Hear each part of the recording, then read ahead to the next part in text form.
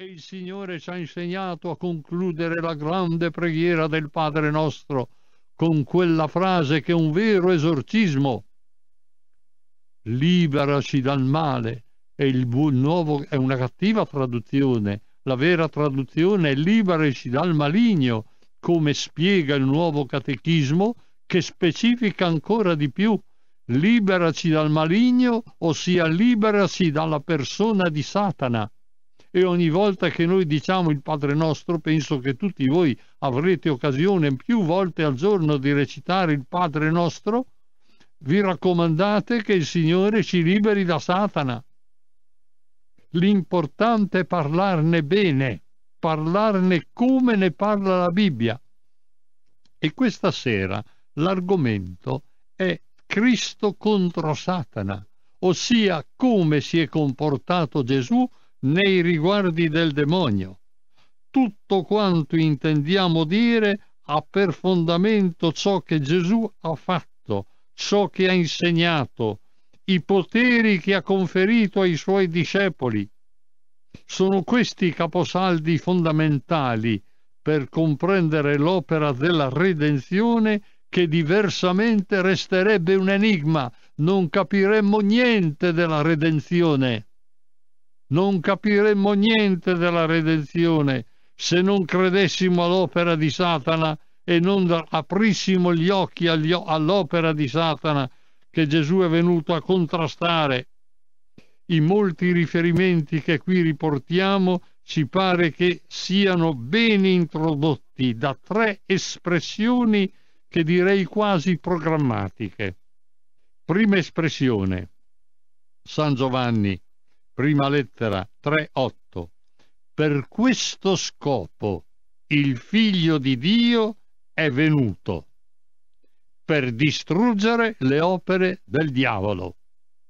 Chi non crede nel demonio non capisce niente dei motivi per cui Gesù è venuto nel mondo non li capisce, non sa che cosa è venuto a fare Gesù a questo mondo, non lo sa, non lo sa.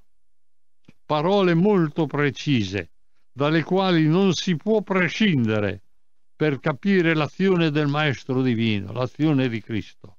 Per questo scopo il Figlio di Dio è venuto, per distruggere le opere del diavolo.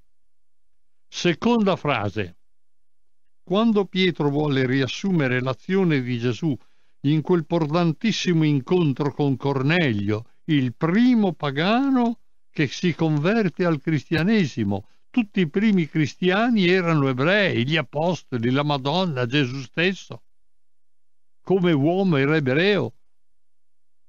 Era ebreo circonciso l'ottavo giorno, presentato al Tempio al quarantesimo giorno, secondo la legge di Mosè tutti gli apostoli, tutti i primi cristiani erano ebrei. Il primo pagano convertito è Cornelio. E c'è una grande meraviglia da parte quando poi Pietro torna a Gerusalemme, che lo accusano, ma come tu sei andato a mangiare a casa di un pagano? E allora San Pietro spiega come sono andate le cose e allora gli, questi ebrei, questa prima comunità cristiana di Gerusalemme, composta esclusivamente da, da ebrei, dice con meraviglia, allora il messaggio di Gesù è rivolto anche ai pagani è rivolto veramente a tutte le genti. Gesù ha detto chiaro, andate in tutto il mondo, predicate il Vangelo ad ogni creatura e battezzateli nel nome del Padre, del Figlio e dello Spirito Santo. Però quando Pietro, ecco la seconda frase, vuole riassumere l'azione di Gesù davanti a Cornelio e ai suoi familiari e ai suoi amici, le sintetizza con queste passioni. Gesù passò facendo del bene e sanando tutti quelli che erano sotto il potere del diavolo. L'umanità era sotto il potere del maligno e Gesù ci salva dal potere del maligno, ci salva dal, ha salvato dal potere del maligno Terza frase, anche questa programmatica direi, Paolo, quando vuole intende esprimere in profondità la lotta che il cristiano deve sostenere per essere fedele a Dio, afferma vestite l'intera armatura di Dio per contrastare le macchinazioni ingegnose del diavolo. Infatti la nostra lotta non è contro una natura umana mortale, ma è contro i principati, le potestà, contro i dominatori di questo mondo di tenebre, contro gli spiriti maligni delle regioni celesti. Guardate con quanta chiarezza Paolo si esprime. La nostra lotta è contro Satana, è contro le tentazioni del demonio. Ecco perché il Vangelo ci spinge ed è per questo che parliamo del demonio e ne parliamo e non ne parliamo mai abbastanza se ne parliamo bene. Non per averne paura, ma per essere vigilanti, vigilate e pregate per non cadere in tentazione, per essere vigilanti e per pregare continuamente contro l'azione del demonio che tenta ognuno di noi, tutti ci tenta. Da quando abbiamo l'uso di ragione in poi, tutti ci tenta, fino al momento della morte alla luce di questi tre passi. Gesù che è venuto nel mondo per distruggere le opere di Satana. Gesù che è passato nel mondo sanando tutti quelli che erano sotto il potere del diavolo, per sottrarsi dal potere del diavolo. E le parole di Paolo, che la nostra lotta non è contro forze umane, ma è contro le macchinazioni di Satana e contro il demonio, il nostro nemico numero uno, come lo chiama Paolo VI nel famoso discorso del 15 novembre del 71, del 72, il nostro nemico, il nemico numero uno è Satana, è Satana. Sono i demoni i nostri rivali principali. Alla luce di questi passi, allora comprendiamo la grande importanza che i Vangeli danno allo scontro diretto tra Cristo e Satana, di cui sottolineano la totale sconfitta. Ne parlano diffusamente, completamente, già all'inizio della vita pubblica di Gesù, subito dopo la solenne proclamazione del Padre nel Giordano, questo è il mio figlio prediletto. Prende le mosse dallo scontro delle tentazioni. Brevi ma incisive le parole di Marco egli rimase nel deserto quaranta giorni tentato da Satana. Ecco come inizia Gesù la sua vita pubblica, il suo ministero pubblico, anche se Matteo e Luca si fermano in particolare su tre tipi diversi di tentazioni di Satana. Rimase nel deserto quaranta giorni tentato da Satana è il contenuto che sottolinea, prevede anche le nostre tentazioni. Si tratta in sostanza di scegliere tra i desideri della carne, cibo, successo, potere. Ecco le tre tentazioni del demonio contro Cristo. E la volontà dello Spirito. Occorre scegliere tra le promesse di Satana. Fin da Adamo ed Eva sarete simili a Dio. Non è vero che morirete, sarete simili a Dio è il falsario, è il falsario numero uno. Scegliere tra le promesse di Satana e le promesse di Dio che ci ha creato per il paradiso e ci vuole in paradiso e se l'uomo pecca ci dice chiaramente non voglio la morte del peccatore ma che si converta e viva. Dio ci ha creato tutti per il paradiso e chi va all'inferno è perché ci vuole andare di sua volontà, andando contro tutte le mille occasioni che il Signore gli ha dato per convertirsi. Il primo Adamo ha scelto le promesse di Satana, la caduta di Adamo ed Eva. Il secondo Adamo, Cristo, ha scelto l'ubbidienza a Dio, anche se la fedeltà a tale obbedienza gli farà rinunciare ai regni della terra ai trionfi, al benessere e lo porterà alla morte in croce. Gesù è venuto per regnare non sugli uomini su questa terra, per essere un potente in senso terreno. Il suo potere sulle anime vuole regnare nei cuori, vuole regnare dentro ciascuno di noi. E fin da questo momento Satana è già sconfitto, perché Satana vuole lui a sua volta regnare dentro di noi e trascinarci dove lui si trova. Sarà una continua vittoria contro di lui tutta la predicazione di Gesù. Tutta la predicazione di Gesù è volta a instaurare il regno di Dio e a distruggere il regno di Satana. A questo si accompagna con chiarezza la crescente rivelazione della divinità di Cristo, sottolineata da quei segni straordinari che sono i suoi miracoli. E tra questi segni acquista un particolarissimo valore il dominio di Gesù sugli spiriti immondi.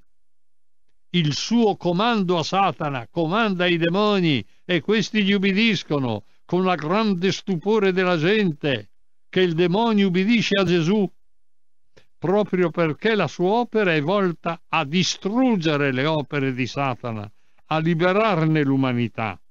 Perciò gli evangelisti insistono su questi episodi distinguendoli nettamente dalle guarigioni delle malattie. Gli evangelisti distinguono benissimo quando Gesù guarisce e quando Gesù libera dal demonio, quando Gesù dà il potere di guarire e quando Gesù dà il potere di cacciare i demoni.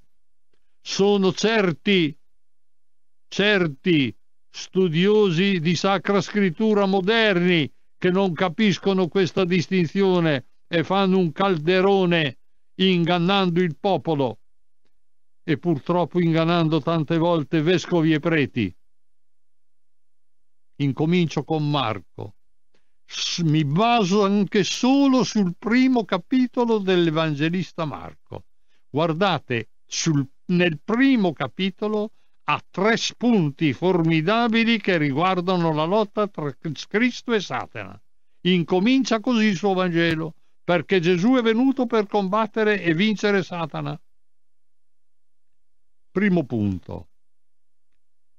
Primo capitolo, prendo tre punti dal primo capitolo, versetti 23-27. Vi era nella loro sinagoga un uomo posseduto da uno spirito immondo il quale si mise a gridare dicendo Che c'è tra noi e te, Gesù Nazareno? Sei venuto a rovinarci? Io so che tu sei il santo di Dio. Ma Gesù lo sgridò dicendogli Taci ed esci fuori da lui. Allora lo spirito impuro lo scosse violentemente, poi mandò un grande grido e uscì da lui. Tutti furono presi da spavento, tanto che si chiedevano che è mai questo? Una dottrina nuova data con autorità e comanda perfino agli spiriti impuri e questi gli ubbidiscono. Notate eh, come la predicazione di Gesù è messa in relazione la sua predicazione e il suo potere di cacciare i demoni. Come sono messi in relazione questi due aspetti? Perché sono ugualmente prove della sua autorità, la sua predicazione nuova e la sua autorità sui demoni. Secondo punto, sempre nel primo capitolo di Marco, versetti 32-34, venuto la sera, quando il sole fu tramontato, gli condussero ogni sorta di malati e di indemoniati Tutta la città si era raccolta davanti alla porta. Egli guarì molti malati da varie malattie e scacciò molti demoni, ma non permetteva che i demoni parlassero perché lo conoscevano bene.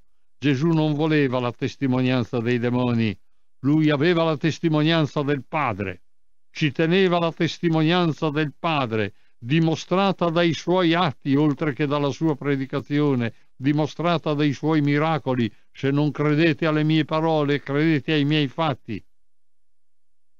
E porta così ad essere anche noi suoi testimoni. Non vuole la testimonianza di Satana che sa benissimo chi è Gesù, vuole la nostra testimonianza, vuole che noi diventiamo testimoni. Oltretutto la testimonianza dei demoni è dannosa perché poteva anticipare quello che Gesù voleva rivelare solo alla fine, la sua divinità. Ancora, sempre nel primo capitolo di Marco, si conclude con questa frase e se ne andò per tutta la Galilea, predicando nelle loro sinagoghe e scacciando i demoni. Vedete come vengono unite la predicazione e la vittoria sui demoni. Sono inscindibili, inscindibili. Gesù predica e caccia i demoni e noi, ubbidendo alle parole di Gesù, vinciamo Satana, che ci tenta in tutti i modi. Noi lo vinciamo seguendo gli insegnamenti di Cristo. Come vediamo bene abbinata la predicazione e la vittoria su Satana. Marco ci riferisce altre parole del potere di Gesù sui demoni. Ne parlano spesso gli evangelisti. Ad esempio, capitolo 3, 11-12, gli spiriti immondi in poi, quando lo vedevano, gli cadevano ai piedi e gridavano dicendo Tu sei il figlio di Dio.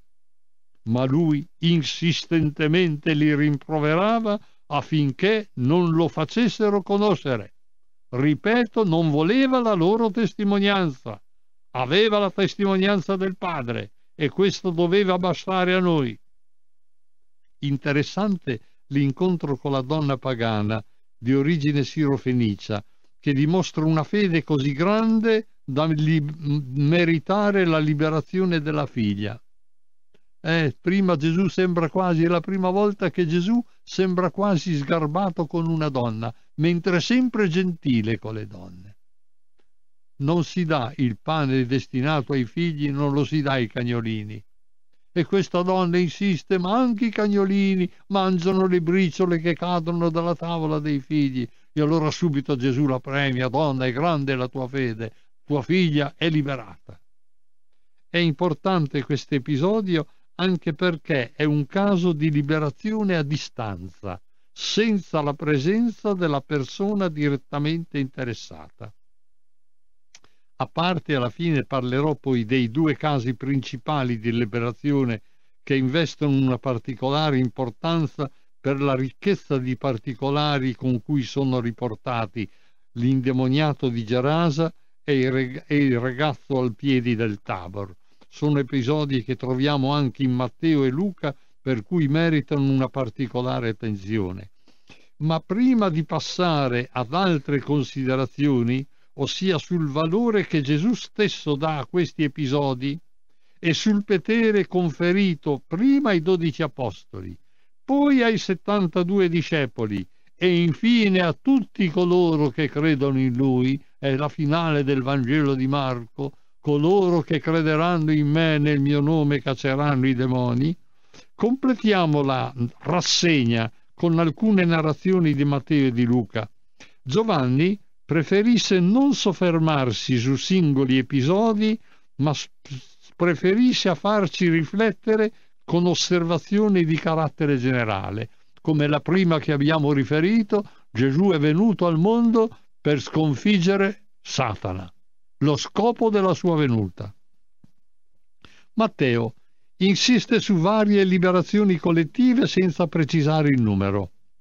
Ad esempio, 8.16, scusate, 4.24, si sparse la fama di lui in tutta la Siria e così furono condotti a lui malati di ogni genere, sofferenti di infermità e dolori vari, indemoniati e paralitici ed egli li guarì. 8.16 Verso sera gli portarono molti ossessi ed egli scacciò gli spiriti con la sola parola e guarì tutti gli infermi. Non è da meno Luca oltre a riportare l'episodio della liberazione di quella donna tenuta curva da 18 anni per cause della presenza del demonio, guardate il demonio cerca di nascondersi, per cui qui si nasconde sotto la forma di una malattia, sembra una deformazione alla spina dorsale. Nessuno pensa che sia causata dal demonio questa deformazione. E invece Gesù sa che questo dipende dal demonio e allora la libera dal demonio e questa donna torna sana. Torna sana. Come l'episodio Gesù ha guarito tanti muti, ma c'è un sordomuto che era sordomuto non per malattia, ma per la presenza del demonio. E allora Gesù caccia il demonio e questo sordomuto incomincia di nuovo a parlare e a sentire.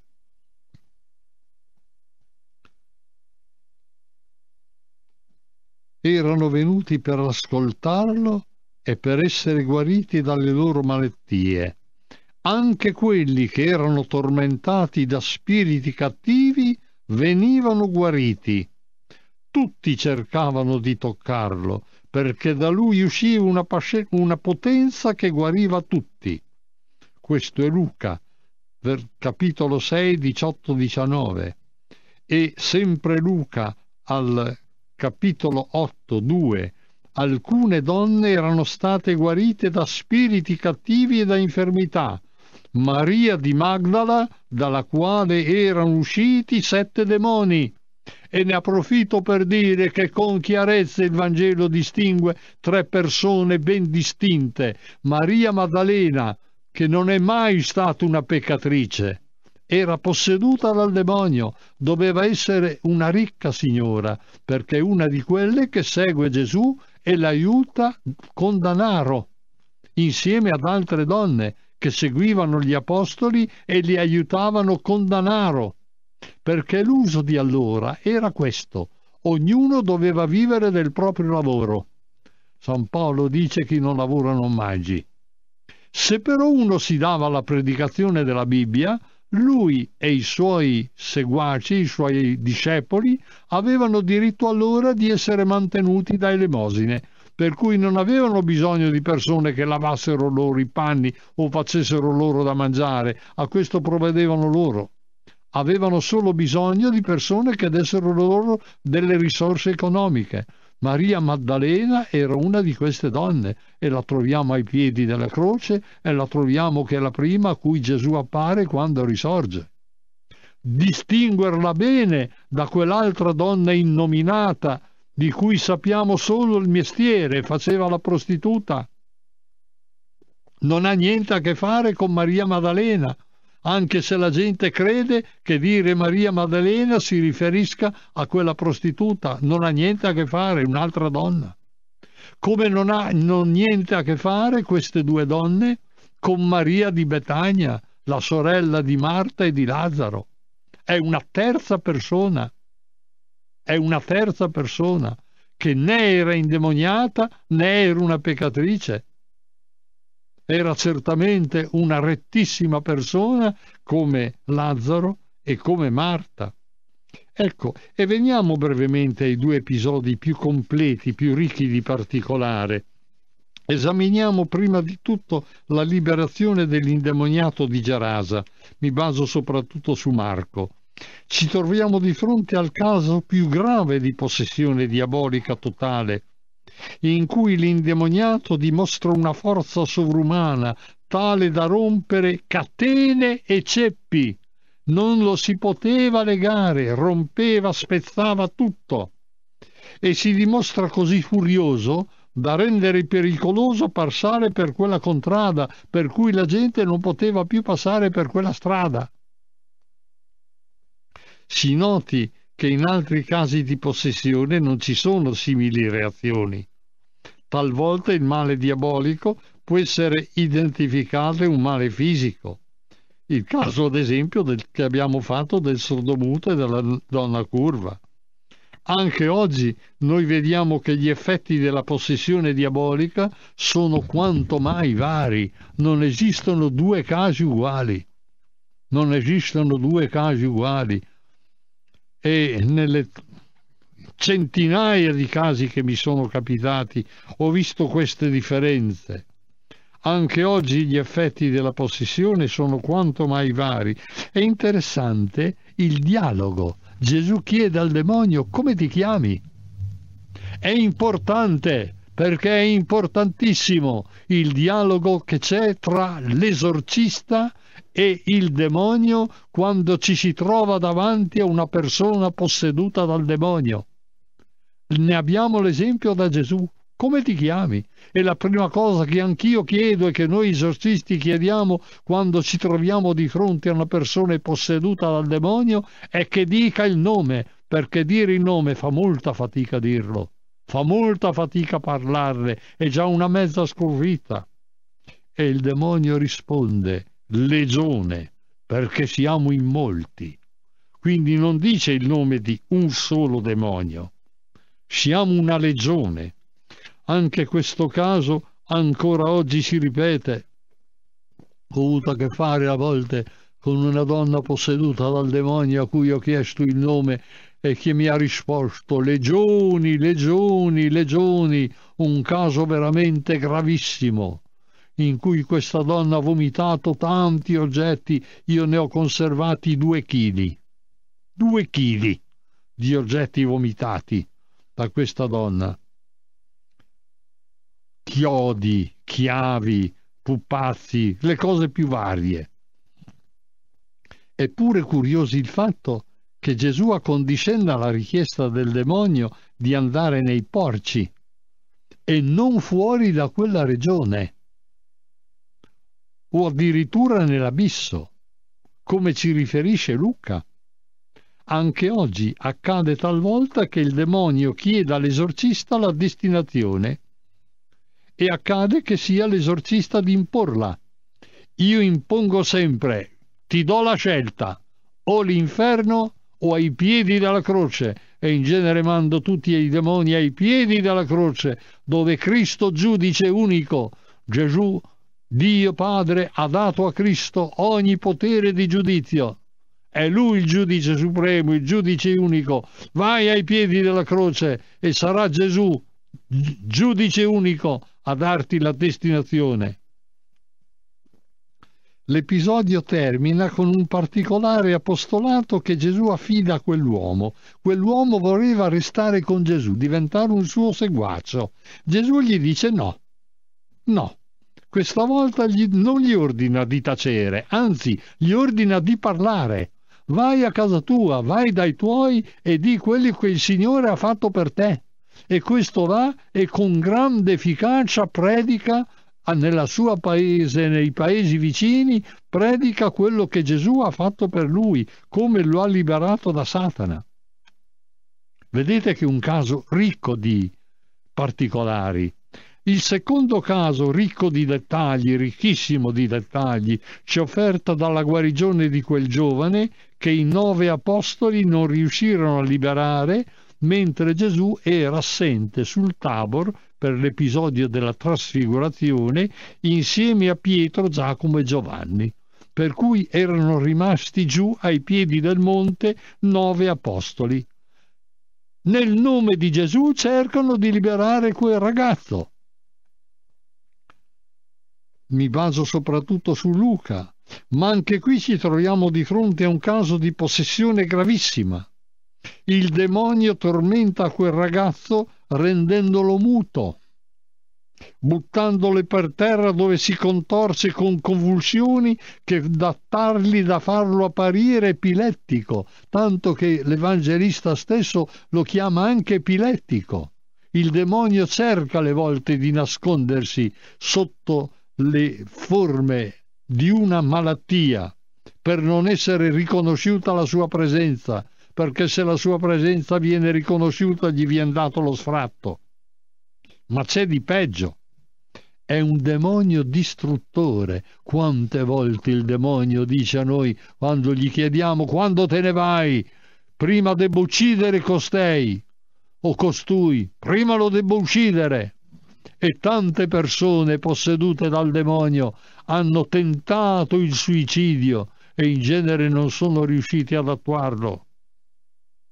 Un caso solo ha avuto il, il mio grande maestro, padre Candido, di un indemoniato, una ragazza indemoniata che si è suicidata per colpa della madre. Un unico caso, se non mai il demonio ha tentato che queste persone si suicidassero, ma anche a costo di compiere cose prodigiose mai sono riusciti. Questo era un demonio che voleva la morte di quel figlio unico. Ecco perché il papà dice a Gesù ha tentato di buttarlo nel fuoco, di buttarlo nell'acqua. Tenta di ucciderlo, vuole ucciderlo. Qui ci sono due importanti particolari da notare. Prima di tutto la domanda di Gesù al Padre, da quanto tempo gli accade? Nel Vangelo non viene mai detta la causa delle possessioni e noi esorcisti tante volte ci affanniamo a ricercare qual è la causa della possessione e non sempre arriviamo a capirla. In questo episodio si precisa il tempo, fin dall'infanzia. E ci sono delle persone che vengono possedute dal demonio fin dal seno materno prima ancora di nascere, nascono già posseduti dal demonio, e altri che vengono posseduti dal demonio da bambini piccoli. E altre volte che io ho chiesto al demonio tu cosa puoi fare contro il battesimo di costui? Posso fare tutto perché sono arrivato prima io. Come è importante battezzare i bambini presto, battezzarli al più presto.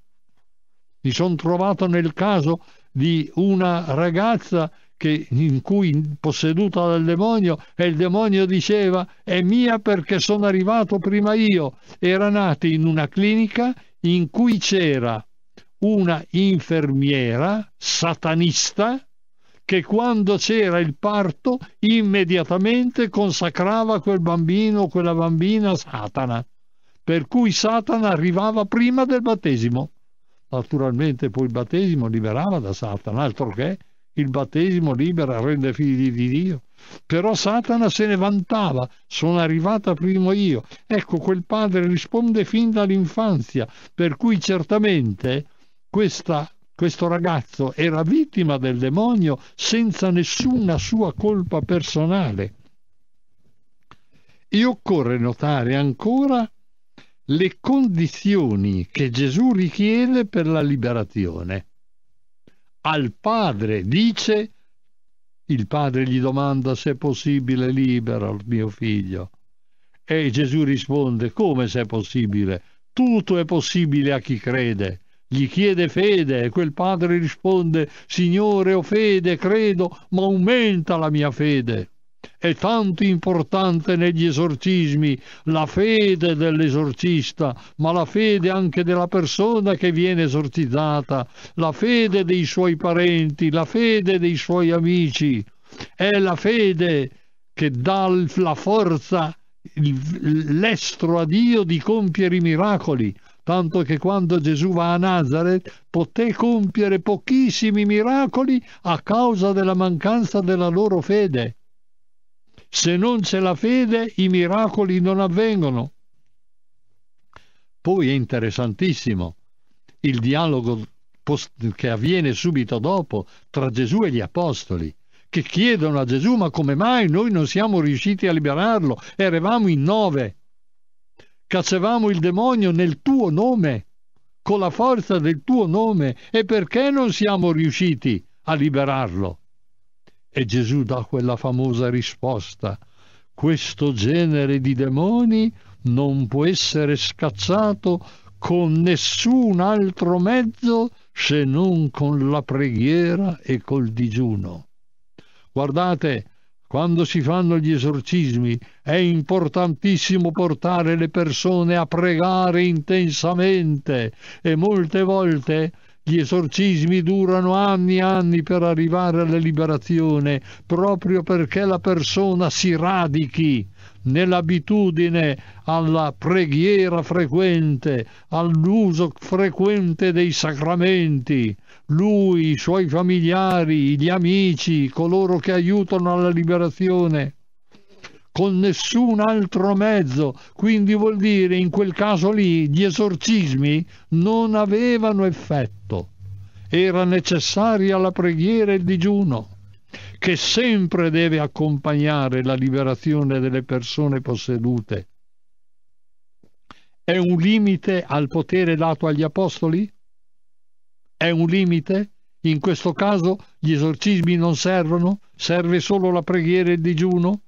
O piuttosto è un preciso insegnamento da indicare come un coefficiente importante in qualsiasi caso in cui ci tratta, ci si trova davanti a problemi di possessione demoniaca.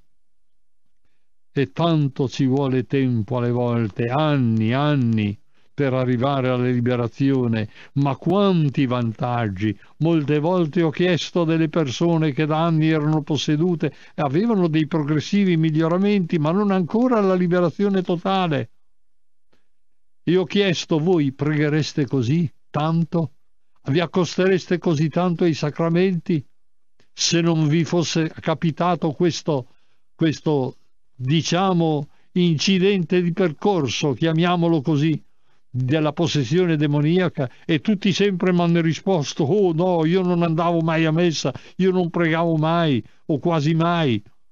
Sono diventato così intenso di preghiera di frequenza ai sacramenti di vivere in grazia di Dio di lottare contro il peccato contro le tentazioni proprio perché mi trovo in questa situazione della possessione demoniaca A questo punto, dopo aver visto con quanta forza e frequenza Gesù caccia via i demoni, giova fare qualche osservazione. Un primo rilievo. Gesù riconosce il potere del maligno. Il demonio è un angelo decaduto, ma resta con tutti i poteri angelici, con la conoscenza, con l'intelligenza con la capacità di iniziativa di angelo. La sua natura angelica non, vie, non è venuta meno dal fatto di essere diventato un demonio, solo che la usa non più a favore di Dio in ubbidienza a Dio, ma la usa contro Dio, ma dei poteri grandissimi. Sant'Agostino ci dice che se non fossimo difesi dal, da Dio, il demonio ci ucciderebbe tutti. Ci ucciderebbe tutti. Ha questo potere, ha il potere e Gesù riconosce il potere del maligno.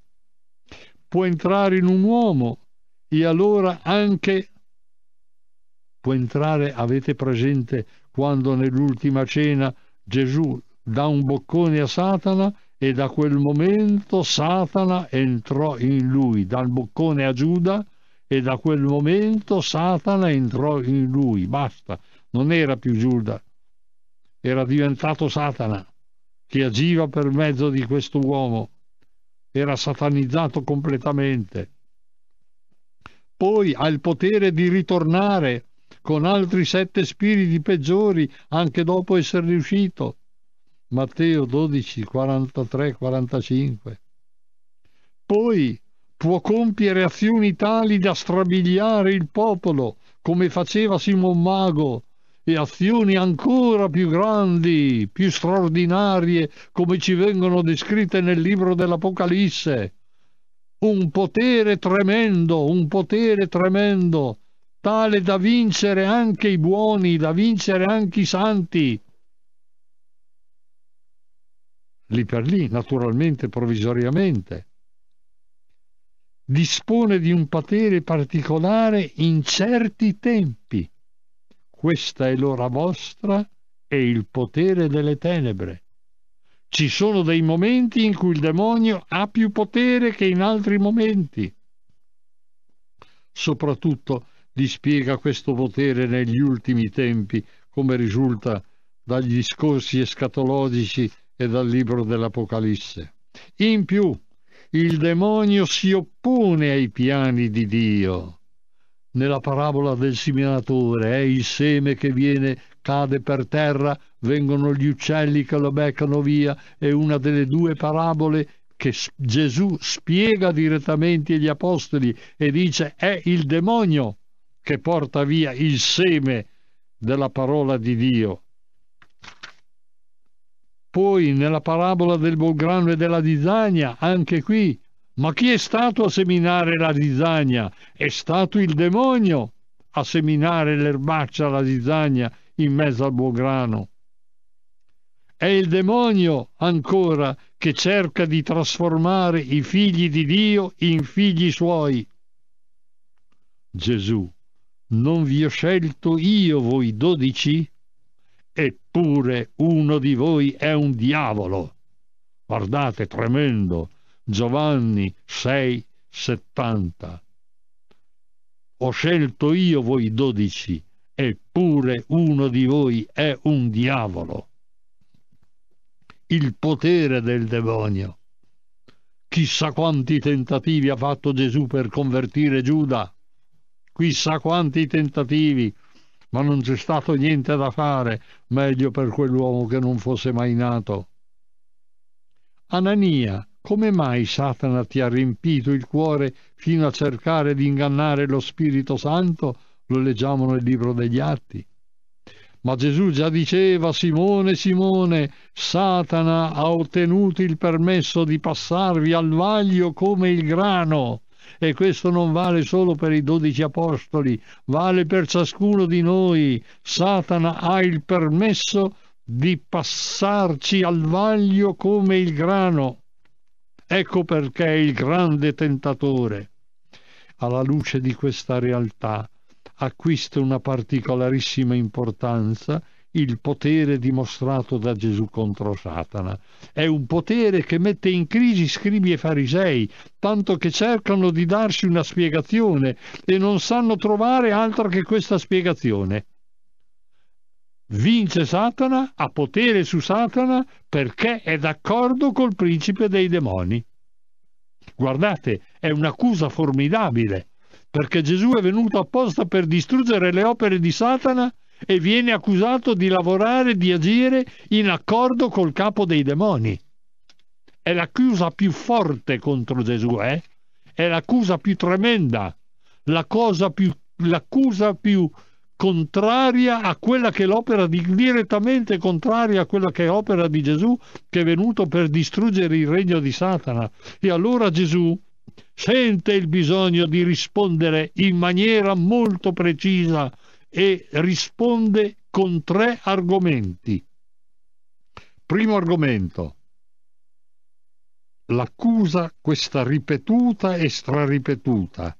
Primo argomento Gesù dice, lui che è venuto a distruggere le opere di Satana, è assurdo pensare che io agisca in accordo col capo dei demoni, perché se io caccio i demoni, allora sarebbe Satana a cacciare i demoni. Un regno non può reggere, non può reggere se si autodistrugge per cui il regno di Satana non potrebbe stare in piedi se fosse Satana a scacciare Satana. E allora è assurda questa ipotesi che io agisca in accordo con Satana. Secondo argomento, è ancora più forte. Se il primo ragionamento dimostra l'assurdità dell'accusa, il secondo dà la vera spiegazione di ciò che sta accadendo, per cui apre gli occhi agli ascoltatori sul vero significato di questa potenza che Gesù dispiega contro Satana. Se io invece, dice Gesù, scaccio i demoni in virtù dello Spirito di Dio, vuol dire che realmente è giunto a voi il regno di Dio. Ecco la vera spiegazione. Io sono più forte di Satana, perché io distruggo il regno di Satana e stabilisco il regno di Dio. Ed è a questo a cui Gesù vuole portare i suoi ascoltatori di fronte a questi prodigi che lui compie contro il demonio. La sua forza più forte della forza del demonio è per dimostrare che il regno di Satana viene distrutto e viene invece stabilito il regno di Dio. Ora il principe di questo mondo è cacciato fuori, ci dice Giovanni. È svinto, è uno sconfitto, è uno sconfitto. Per cui quando alcuni farisei gli dicono esci e parti da qui perché Erode vuol farti uccidere, Gesù risponde andate a dire a quella volpe io caccio gli spiriti maligni e compio guarigioni oggi e domani e il terzo giorno raggiungerò la mia meta, ossia io devo compiere fino in fondo l'opera che il Padre mi ha commissionato, mi ha dato da compiere.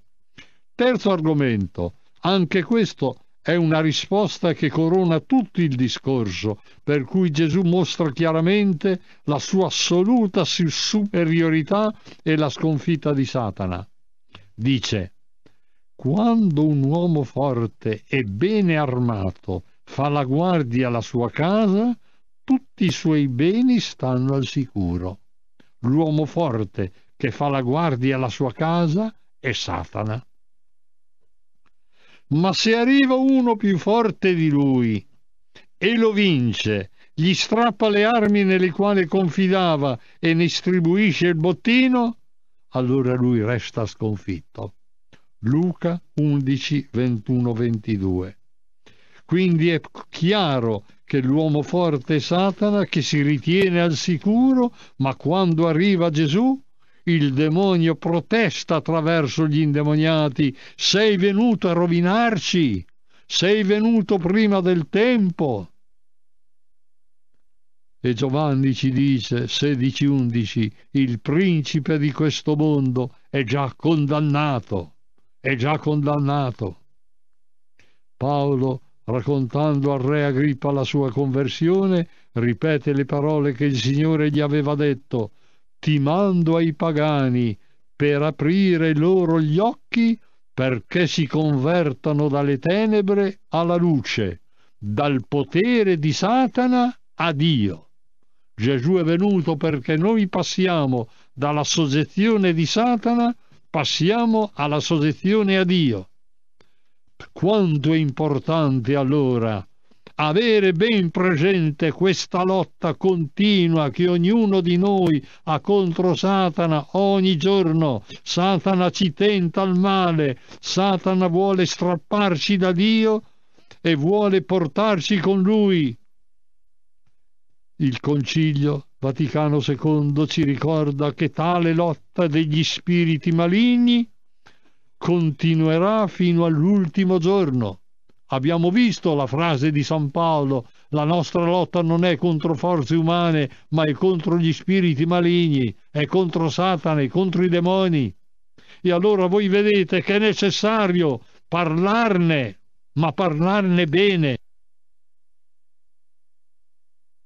La prossima volta, se mi resterà tempo, la conclusione è parliamo pure del demonio, ma parliamone secondo il Vangelo, parliamone come ne parla Gesù, combattiamole come l'ha combattuto Gesù per arrivare ad essere sempre vigilanti e in preghiera.